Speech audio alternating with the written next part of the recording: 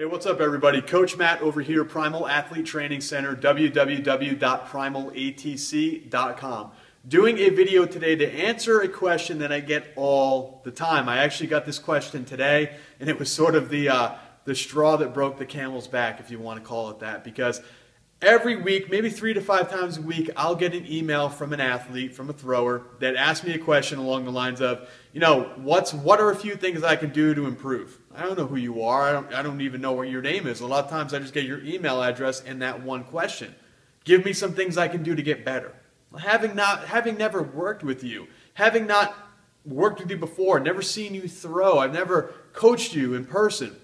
I don't really know things that you personally can do to get better. I don't know things that you personally can do to improve your PRs. But what I can do is give you a little bit of a template. I can give you an idea of what you can do to create a list of things that you can do where you can improve, you can show the most improvement. So what I want to do is ask you a question. Say this had nothing to do with throwing. Say this had nothing to do with track and field. Say this had to deal with geometry. One of my favorite subjects in school was geometry. A lot of people have trouble with it. So say this had to deal with geometry. Say you were terrible at geometry. You're pretty good at math, but you're terrible at geometry. What are some things that you could do to improve your test scores and to improve your grades in geometry? Well, you can go to the teacher for extra help.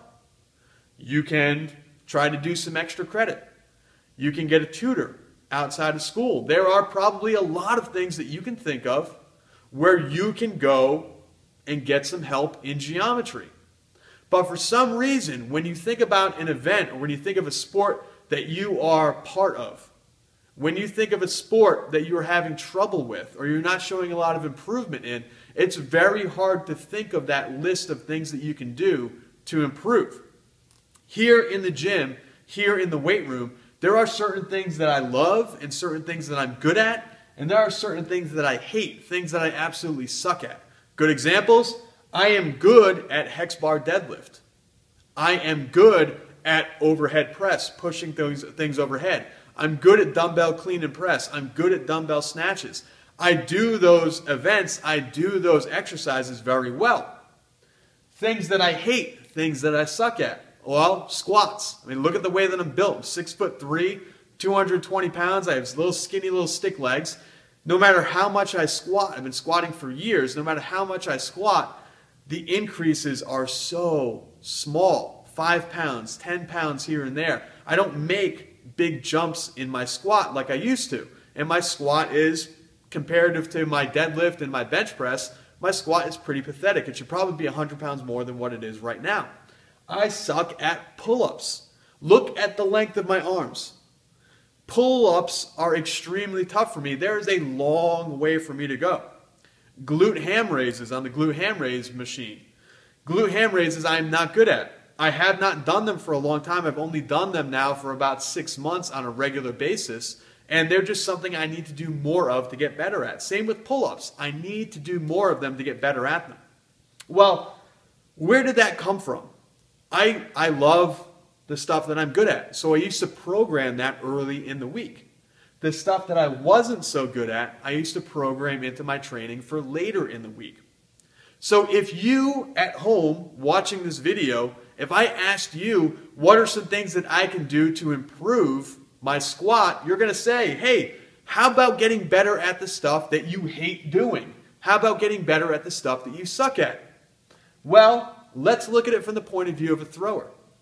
Say, for example, you love and you are good at throwing an underweight five kilogram shot put. Say you're a 12 pound shot putter. Boys high school here in the US is 12 pounds.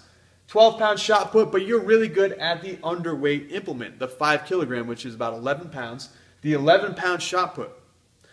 You're good at box jumps. You do box jumps very well. You can jump up onto a 42 inch box. You've got a great vertical leap, you've got a great box jump. You're really explosive and say you're fast. When it comes to sprinting drills, when it comes to any short sprints, any ballistic sprinting that you're doing at practice, you're the best one on the team.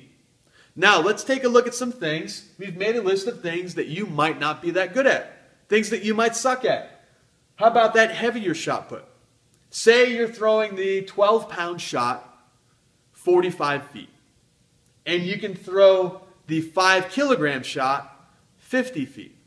Well, say you pick up the 14 pound shot and you can only throw that 36 feet.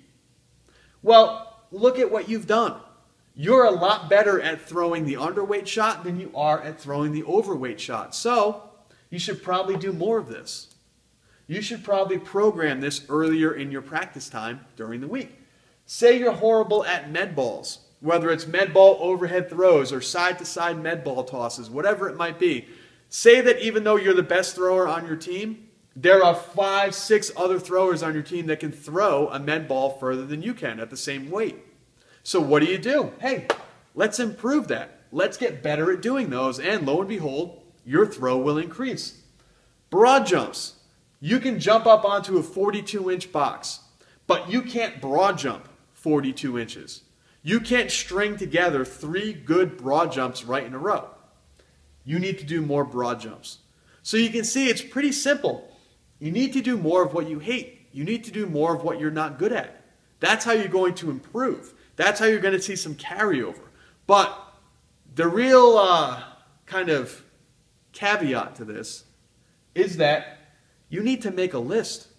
And this is what a lot of us don't want to do. This is what a lot of us don't want to talk too much about. You know out there stuff that, you're, that you suck at. If you're slow, then you know you need to sprint more. If you're uncoordinated, then you know you need to work on your coordination and your footwork and your balance. If you're not strong, you need to get stronger. If you're not explosive, you need to get more explosive. But what it's going to take for you is you need to make this list. As tough as it is as it is to say, you need to sit down, you need to be very honest with yourself. You need to be very true to yourself, and you need to make a list. You need to make a list of things that you absolutely are not good at, things that you don't like to do. And that's what you need to do more of. That's what you need to program early in your week. When you go out to the field and you do some throws and you go on to do your drills, you need to do drills that you're not good at. You need to do med ball exercises that you're not good at. You need to do sprinting exercises that you're just not good at. If you're not good at running up and down the bleachers because you get winded or your legs give out on you, you get tired too quickly, need to do more of that. Okay? So, this is a great answer for those of you out there wondering, man, if there was one thing I could do to see some improvement, what would it be? Make a list.